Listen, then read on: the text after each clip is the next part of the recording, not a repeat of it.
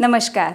मैं डॉक्टर संजीवनी सीतल टोंग से संजीवन गर्भ संस्कार के इस यूट्यूब चैनल में आप सभी का स्वागत करती हूँ। गर्मियों के सीज़न में जब कच्चा आम आता है, कच्चे आम का नाम लिया कि मुँह में पानी आ जाता है।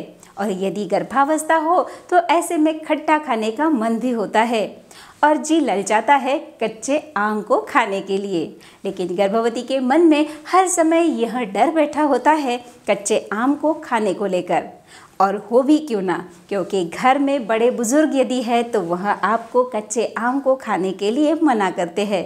लेकिन आज हम इस बात को क्लियर करेंगे। यदि आप प्रेगनेंसी में सेकेंड या थर्ड ट्राइमेस्टर में हैं तो आप कच्चे आम का सेवन कर सकती है, जो कि बिल्कुल भी नुकसानदेह नहीं होता है।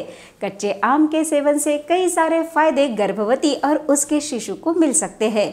लेकिन ध्यान रहे, आपको कच्चे आम को संतुलित मात्रा में ही खाना है, जैसे एक से दो स्मॉल पीसेस कच्चे आम की आप खा सकती है। प्रेगनेंसी के दौरान कच्चे आम खाने के कई सारे फ़ायदे गर्भवती और उसके शिशु को मिलते हैं, क्योंकि कच्चे आम में vitamin C calcium, magnesium, copper, sodium, zinc, phosphorus, potassium अच्छी मात्रा में पाया जाता है। इसके अलावा फोलेट भी कच्चे आम में पाया जाता है।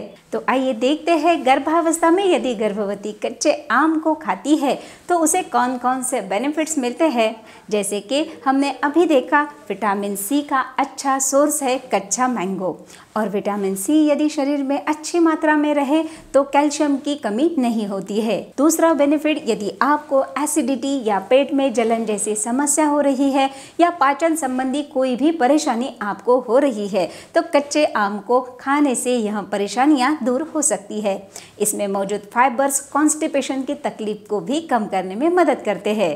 तीसरा बेनिफिट शरीर के रोग प्रतिरोधक क्षमता यानी इम्यूनिटी को बूस्ट करता है कच्चा मैंगो चौथा बेनिफिट कच्चे आम में मौजूद नाइसिन कार्डियोवास्कुलर सिस्टम को मज़बूत करता है जिससे हृदय संबंधित समस्याएँ भी कम होती है। पांचवा बेनिफिट कच्चे आम का सेवन, पाचन तंत्र, आँखों में सूजन, डायरिया जैसी समस्याओं में भी आराम पहुँचाने का काम करता है।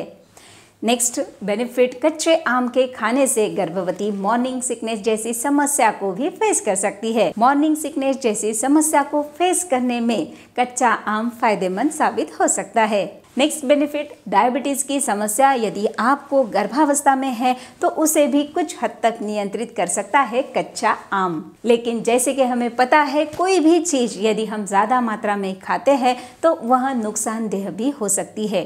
कच्चे आम का सेवन यदि अधिक मात्रा में किया जाए तो पेट में ऐठन, गैसेस की समस्या भी हो सकती है। कच्चे आम के अधिक सेवन से शरीर में गर्मी बढ़ाने का काम भी हो सकता है। इसीलिए गर्भवती गर्भावस्था में फ़र्स्ट ट्राइमेस्टर में इसे ना खाए तो ही बेहतर है। फिर भी आपको कच्चे आम का सेवन करने से पूर्व एक बार आपके डॉक्टर की सलाह भी ज़रूर लेनी है। कच्चे आम का उपयोग आप कई प्रकार से कर सकती है। जैसे आप कच्चे आम का अचार बनाकर सेवन कर सकती है, लेकिन ध्यान रहे, अचार में नमक आपको इस्तेमाल नहीं करना है या कम मात्रा में इस्तेमाल करें। कच्चे आम का मुरब्बा बनाकर भी आप स्मॉल क्वांटिटी में उसका सेवन कर सकती है। या फिर आम की चटनी भी आप बना सकती है, या आम का पन्ना भी आप बनाकर पी सकती है। फिर से एक बात ध्यान रखें कि आपको इसे सीमित मात्रा में, संतुलित मात्रा में ही खाना है और फ्रीक्वेंसी कम रखनी है। साथ ही आपको पूरा ध्यान देना है आपके गर्भस्थ शिशु पर। आप उसे मेंटली और फिजिकली फिट एंड हेल्दी बना सकती है गर्भावस्था में। इसके लिए आप सीख सकती है, उसे कैसे बनाना है सुंदर, सुदृढ़, तेजस्वी और सदगुणों से परिपूर्ण। यह पॉसिबल होता है संजीवन गर्भ संस्कार के साथ। जी हाँ आप संजीवन गर्भ संस्कार का ऑनलाइन वर्कशॉप कर सकती है। नीचे डिस्क्रिप्शन में मैंने लिंक दी है, वहाँ पे जाके डाउनलोड करें संजीवन गर्भ संस्कार ऐप और बनिए extraordinary mom of extraordinary baby आप मुझे व्हाट्सएप तथा कॉल भी कर सकती है। तो हँसते रहिए, मुस्कुराते रहिए एंजॉय कीजिए प्रेगनेंसी का हर क्षण संजीवन गर्भ संस्कार के साथ। धन्यवाद।